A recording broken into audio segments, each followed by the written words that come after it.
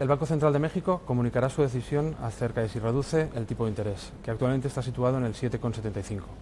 Para ello, tomará en consideración la débil coyuntura económica del país junto a la inflación que actualmente está en el entorno del 3%. Anteriormente, conoceremos el indicador de producción industrial. Este dato es importante porque hasta la fecha es la actividad productiva la que está manteniendo a la economía mexicana no entrar en recesión, y mantenerse al menos en niveles de estancamiento. Conoceremos también los datos trimestrales de la actividad turística. Veremos el potencial impacto negativo en turistas internacionales que el cierre del Consejo de Promoción Turística de México pueda conllevar al sector.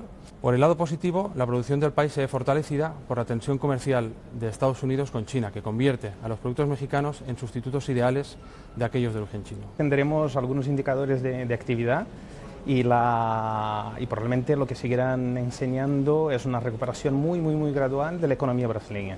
¿eh? Después de un primer trimestre muy débil, tuvimos ya una recuperación en el segundo trimestre, esperemos que esta, esta recuperación continúe hacia adelante ¿no? en la segunda mitad del año y seguiremos en niveles de crecimiento relativamente bajos, pero bueno, mejor de lo que estuvimos en la primera mitad del año. Conoceremos también el Producto Interior Bruto de Colombia del tercer trimestre. Todo parece indicar que será el consumo quien tirará del carro. En cualquier caso, los datos de esta semana, ventas minoristas, producción industrial y PIB, nos permitirán tener una mayor orientación sobre el riesgo inflacionario y, por lo tanto, posibles cambios en la política monetaria del país.